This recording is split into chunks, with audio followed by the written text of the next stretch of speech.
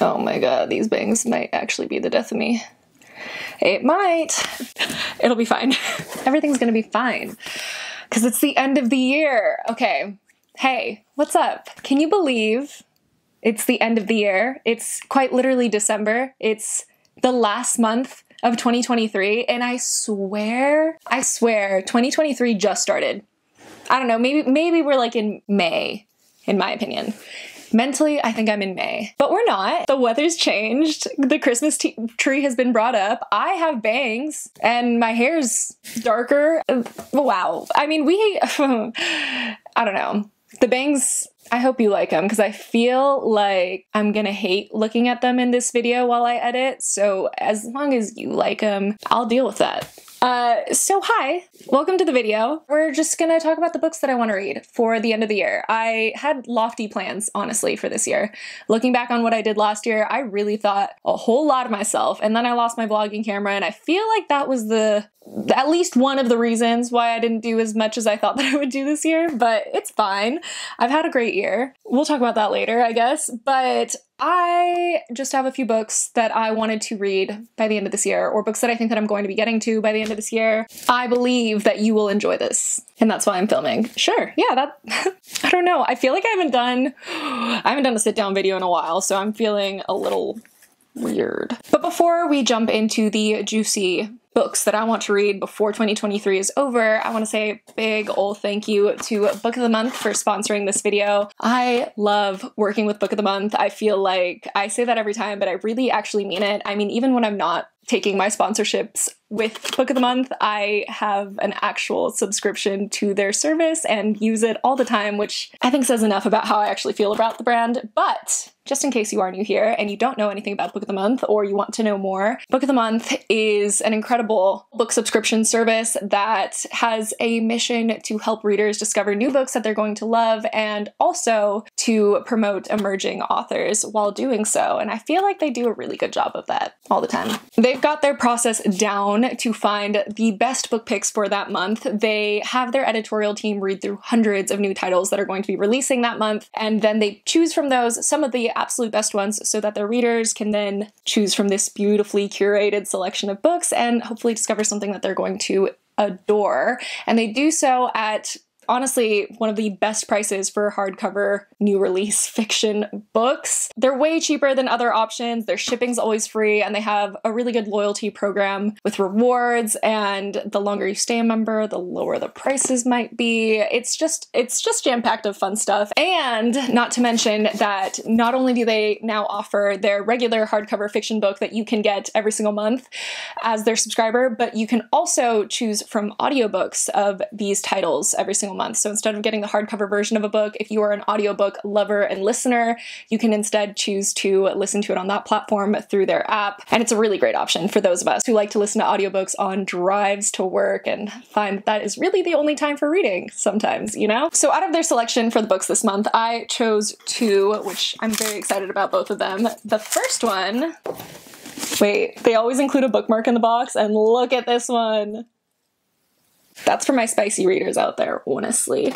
But the first one that I chose was The Kingdom of Sweets by Erika Johansen. This popped out to me. I was definitely in the mood for some sort of holiday vibey story in general. So when I saw that this was one of their selections and I read the premise, I fell in love. This was exactly what I wanted for this month. So it is like a retelling of the Nutcracker, which I mean, don't get me wrong, I've, I've seen the ballet, but Barbie and the Nutcracker? Classic. Absolute classic, in my opinion. This reimagining specifically has to deal with two twin sisters who are split apart by envy and magic. One is light, one is dark, and they've been cursed this way by their uncle, and their whole uh, town has been cursed as well until they have to one day actually face each other on a Christmas Eve, and that is where this story takes place. This seems like a very dark, kind of magical fantasy retelling. It, it adds all of the things that I absolutely love to read about into a story that I already really enjoy, and I think I'm going to love this. The other book that I chose for this month, because uh, I always basically choose a thriller,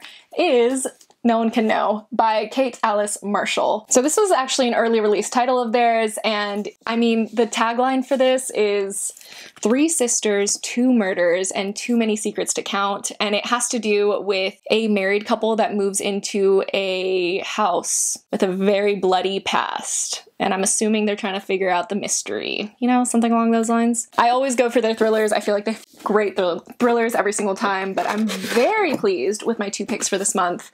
So, also, if you wanted to check them out, granted, they always have a great price for their books, but if you are a new subscriber for the month of December, you can actually pick up your first book for only $5 with the code SWEATER. So, this is an amazing time to try it out, or maybe to buy it for a reader in your life that you don't know what to get for Christmas. I don't know. I would really enjoy this as a present, so I think that that's a good idea. And thank you again to Book the Month for sponsoring this video. And now let us get into the nitty gritty of what I want to read this month. And let's start actually very simply with the Kingdom of Sweets. I really, really want to read this this month. I, in general, I don't have a lot of like holiday or Christmassy kind of stories in my shelves that I could pop out for this kind of occasion. But this is exactly what I want. I'm very much in a fantasy mood. I'm very much in like a magic, dark magic mood. And I feel like mixing that in with the Nutcracker is exactly the right vibe. So hopefully I get to this this month, maybe like right before Christmas. The week before Christmas, this will probably be what I want to read. Now, the rest are not Christmassy. Kind of. Okay, wait, I'll show you the other one that I thought gave me Christmas vibes, but isn't really Christmas vibes. But I was like, you know what? I wanted to read this this year and I didn't read it, and it has a Christmassy kind of feel, maybe just aesthetically. That is How the King of Elfhame Learned to Hate Stories by Holly Black. I definitely wanted to read this before I pick up The Stolen Heir, which came out earlier this year. I never read this. It's like a short story. It's it's cute. It has pictures in it. Uh, I don't I don't know why I feel like this is like a Christmassy read. I really don't think it is. I think that the original cover has like holly on it because holly tends to appear in this story a lot, and because of that, I'm I'm like oh Christmas, yeah, great. And it's like it has pictures. I don't know. I don't know. I can't really explain it. Let's get the big boy out of the way. Let's get the one that honestly I've been meaning to read since the moment it appeared on my doorstep a month ago, and I haven't. Iron Flame. Iron Flame by Rebecca Yarros, the second book in the Fourth Wing series. I loved Fourth Wing. I read it earlier this year. I made a video on it. I'm kind of debating doing a video for this one. Let me know if you would like to see that. But I'm very excited about this. I absolutely loved loved Fourth Wing, so I'm very excited to see what comes next. I don't know why. I, oh, I know why I haven't picked it up because it seemed like intimidating. I knew I was going to really like it. I know I'm going to have to wait a while for the next book, and also I didn't know if I wanted to film content for it. And if I do want to film content for it, that always gets just like a little bit more stressful. You know what I mean? But if you want to see it, let me know. I'm definitely down. I'm reading this. Before the end of the year, I'm reading this because I'm pretty sure I've already managed to spoil something for myself in this book because of TikTok. I'm really good about spoilers on TikTok, but they said it was a Fourth Wing spoiler. And that was not something that happened in Fourth Wing, which makes me think that they just said Fourth Wing because that's the first book. Okay, I'm gonna get off my soapbox, but you know what I mean. I might have gotten spoiled already. I need to read those before I get spoiled again. If you didn't know, Fourth Wing is just a story about dragon riders, and um, maybe it gets a little bit spicy. Maybe it's a little bit brutal. Who knows? I don't know. I'm, I'm just a girl. I just read sometimes. So the next one that I really wanted to get to this year is Love Theoretically by Ali Hazelwood. I feel like I've, even though I've been in a fantasy mood, I have been in the mood to read like one singular cutesy romance. I've been watching a lot of like rom coms and I feel like I just want at least one book that fits that vibe. And Love Theoretically definitely fits that vibe in my opinion. I loved the love hypothesis and i really want to see if like all of ali hazelwood's work is going to be for me i feel like it will be but we'll find out once i read this um, this one has to do with a theoretical physicist ooh a theoretical physicist who makes up for her non existent paychecks by offering her services as a fake girlfriend. Love that for her because she's a great people pleaser. Wow. Love that. And she actually does a really good job. But it obviously comes crashing to the ground because Jack Smith, that annoyingly attractive and arrogant older brother of her favorite client, turns out to be a cold hearted experimental physicist who ruined her mentor's career. And he's the same one who rules over her department at MIT and is standing between her and her dream job. Interesting. Why does it fall apart? I guess we'll find out. And then I have two more books on this list. One which I actually started but stopped because I loved it so much while reading it on my Kindle that I wanted to be able to mark it up and like have a physical copy of it. So I need to get back into it because I didn't stop because I hated it. I stopped because I wanted it and then I got it and then I didn't read it. So That's Divine Rivals by Rebecca Ross. Like I said, I started this on my Kindle a couple months ago while I was in Argentina and was absolutely in love with it. It's it's just kind of fun, whimsical, not whimsical. How do I describe this? It's it's this really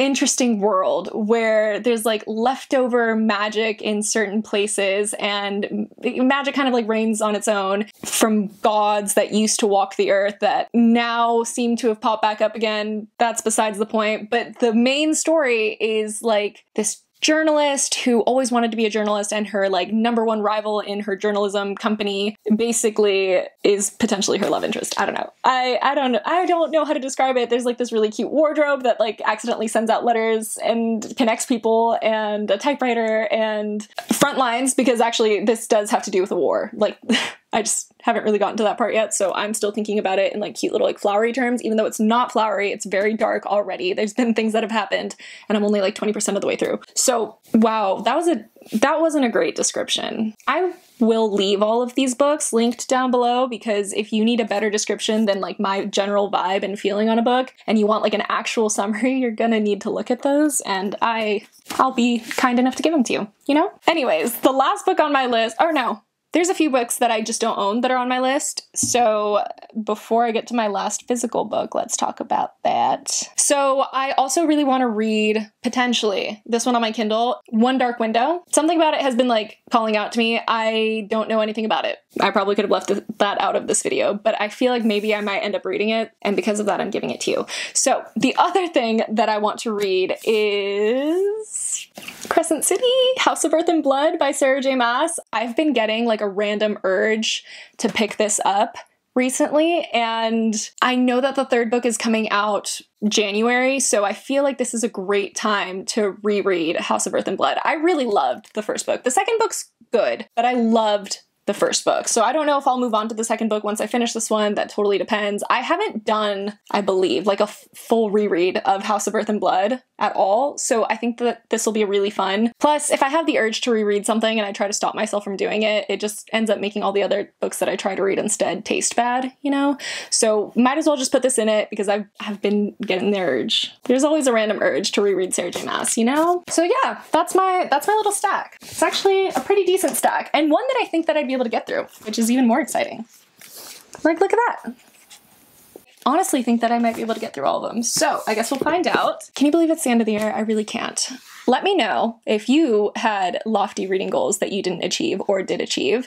And I hope you enjoyed this video. I don't really think that there's any sort of holiday content that I was planning. I wasn't going to do Vlogmas or anything like that. But if there is something that you would like to see from me, seeing how I haven't filmed in a million years, let me know down below because I am really trying to get back into it. I feel like I've missed you guys and I need to just put my big girl pants on and get back to it, whether it's easy or not. So, what a hopeful message to leave at the very end of my video. I know. I hope you're having a great day, and I will get to reading.